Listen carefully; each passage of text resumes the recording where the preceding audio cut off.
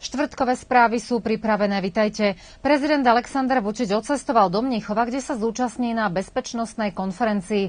Na nej sa stretne európska, ale aj zámorská politická elita. Srbský prezident bude rokovať s úradujúcim námestníkom amerického štátneho tajomníka pre európske a euroázijské záležitosti Filipom Rickerom, ako aj s niektorými americkými senátormi. Tiež sú naplánované rozhovory so šéfom pracovnej skupiny pre Západný Balkán, Davidom Vadefulom, ako aj s poradcom nemeckej kancelárky pre zahraničnú politiku a bezpečnosť Jánom Hekerom. Hlava nášho štátu oznámila, že sa po návšteve Nemecka vracia do Belehradu, kde 17.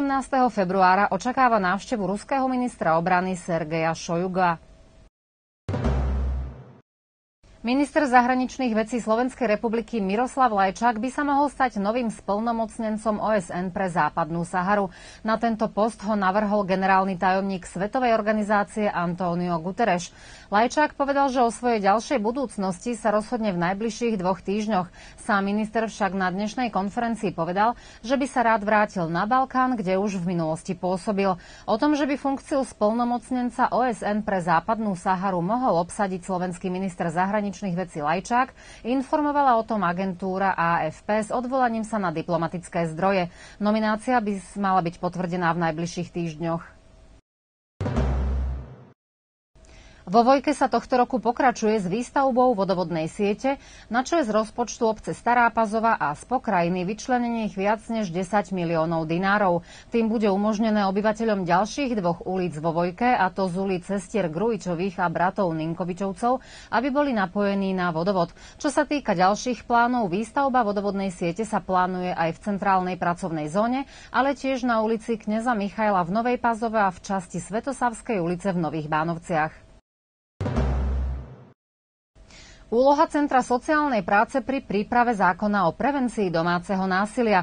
To je názov odbornej prednášky Staropazovského Centra sociálnej práce, ktorá sa bude konať zajtra o 13. hodine v Starej Pazove v klube pre dospelé a staré osoby. Táto prednáška je určená odborným pracovníkom z inštitúcií sociálnej ochrany v Sriemskom kraji. 13. február sa po celom svete zaznamenáva ako Svetový deň rádia. Tento deň vyhlásili delegáti na 36. zasadnutí Generálnej konferencie UNESCO a oslavujeme ho od roku 2012.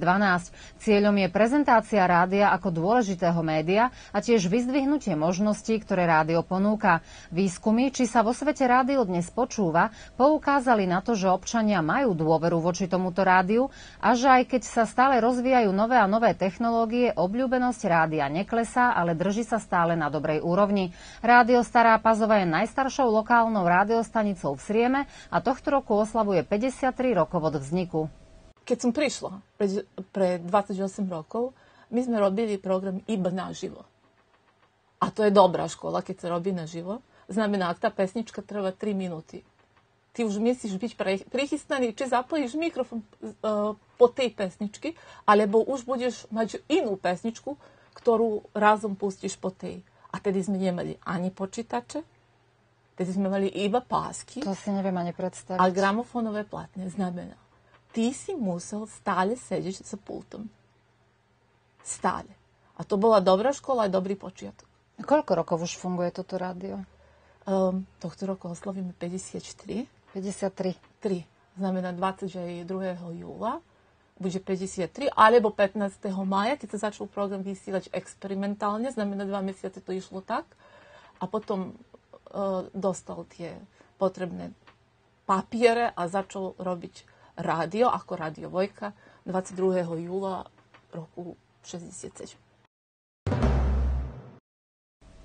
Včera večer bola publiku v knižnici Dositeja Obradoviča v Starej Pazove predstavená kniha Monštrum, ktorú napísal Čedomír Rajčič. Autor bližšie predstavil tento román, v ktorom sleduje tragický osud troch pokolení jednej rodiny a odohráva sa v rokoch 1941 až 2012.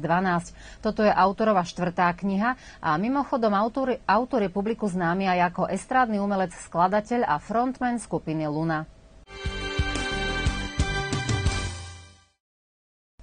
Srbský tenista Dušan Lajovič sa prebojoval do štvrťfinále turnaja v Buenos Aires a to výhrou nad Španielom Pedro Martinézom 7-6, 7-6. Jeho ďalším súperom bude víťaz zápasu, v ktorom sa stretnú Nor Kasper Ruud a Španiel Roberto Carbales Bana.